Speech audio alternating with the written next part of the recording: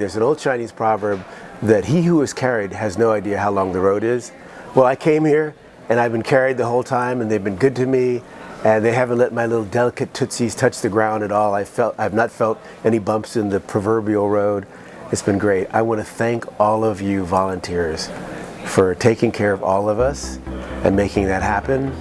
And hopefully you've grown as well and learned something. And I started out in a volunteer position and I often find myself right back there again and there's no greater service than being in the service of others. Thank you.